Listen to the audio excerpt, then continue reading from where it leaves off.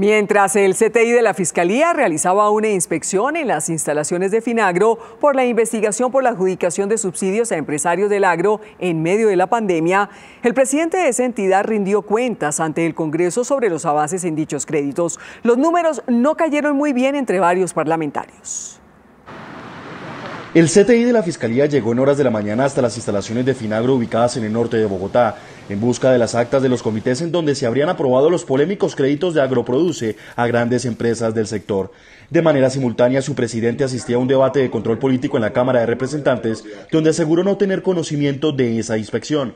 Yo les anuncio que a mí no me ha llegado nada, a ni, de hecho nosotros estamos respetando la pandemia y en este momento no tenemos a nadie en las oficinas de Finagro. Estamos todos confinados, aislados en nuestras casas trabajando.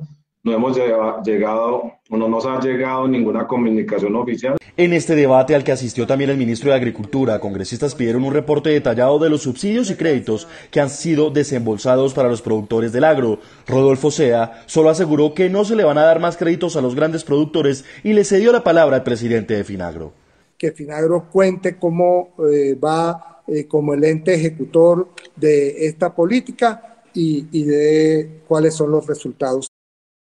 De los 193 mil millones de pesos que se ha dado en crédito a medianos productores, ya tiene una ejecución del 88% de medianos productores. Prácticamente en menos de un mes ya se van a gastar los recursos del subsidio de medianos productores. Ante estas cifras, Finagro justificó los retrasos. No se ha colocado todo el recurso con la misma velocidad que mediano y grande productor, porque en este país llegarle con crédito al pequeño productor es más difícil cifras y argumentos que generaron todo tipo de comentarios dentro de los parlamentarios. El solo hecho de que hoy la Fiscalía haya estado eh, visitando las instalaciones de Finagro y desarrollando diligencias de, de índole investigativo ya es una alarma.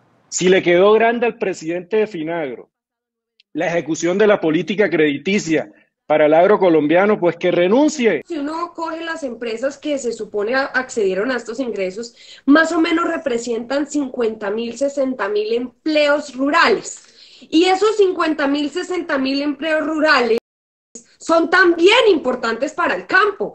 Justo en medio de esta discusión, la representante Catherine Miranda denunció que desde el Banco Agrario se habrían aprobado créditos a personas que financiaron la campaña del hoy presidente Iván Duque, a lo que respondió el presidente de la entidad. Yo creo que tratar de enlodar sin fundamento a una persona honorable e íntegra, como el presidente Iván Duque, como los directivos de su campaña, que fue una campaña honorable, esa es una línea roja que no se debe pasar. Usted a mí no me viene a tratar de mentirosa porque yo saqué la información de cuentas claras, así como usted lo dice.